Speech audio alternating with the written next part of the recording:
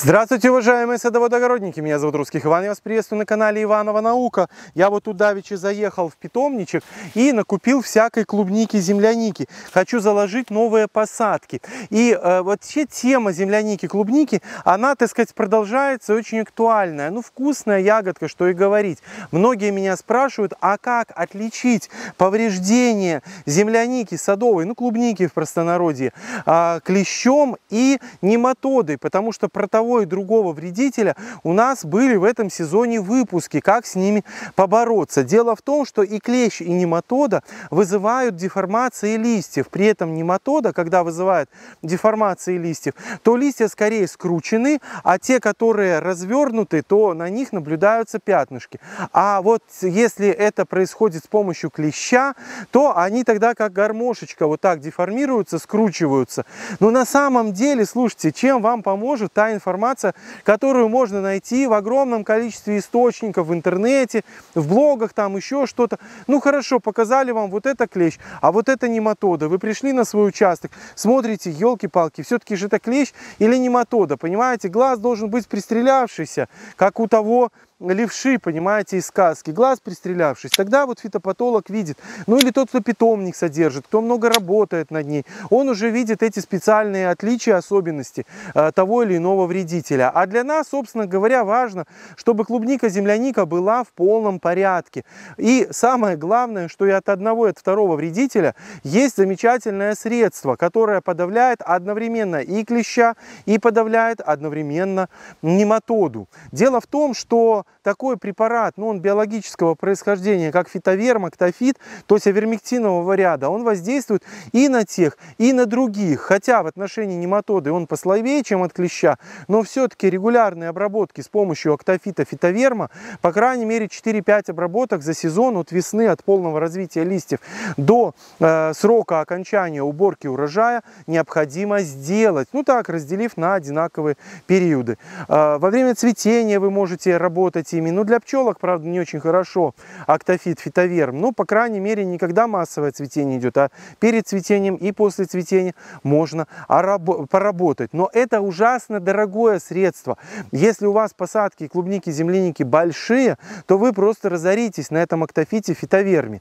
На смену актофиту, фитоверму могу вам предложить другое средство, которое не менее эффективно и также очень-очень эффективно в отношении нематоды. Э, листовой нематоды нематоды, которая живет также и на стеблях, и живет также на корнях земляники. Это ПФК Лерос, именно жидкая сера. Когда мы используем эти полисульфид кальция, эти растворы такие, но также можно использовать серную печень, это полисульфид натрия, он тоже продается, э, то в этом случае мы даем такой сильный удар сероводородом, и этот удар сероводородом очень хорошо воздействует как на клеща, так и nga нематоду. Соответственно, вы можете разводить 1 к 100, э, то есть 100 мл на 10 литров э, вот этого препарата ПФК Лерос, он доступен, и обрабатывать весь свой земляничник. Этот препарат совершенно безопасен для человека, ну, при правильном использовании, если вы не пьете, не дышите этим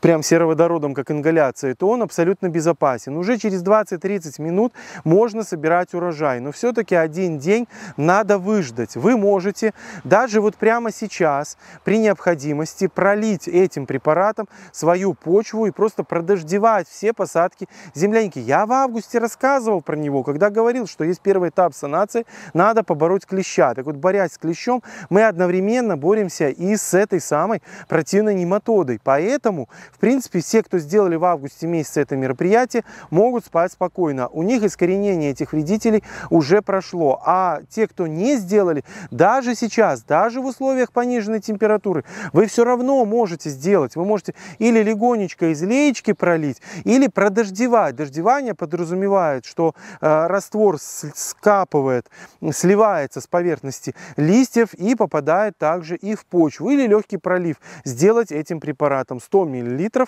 ПФК Лерос на 10 литров воды. Как видите, это достаточно экономно, доступно и весьма эффективно. И вам тогда не надо больше никогда ломать голову над тем, это клещ или это нематода. Вы одним препаратом, безопасным для человека и окружающей среды, просто прибиваете и того, и другого. На этом я прощаюсь с вами. Лечите вашу землянику. Она даст вам хорошие урожаи. А особенно вот купчиха, все говорят, нематодой поражается страшно.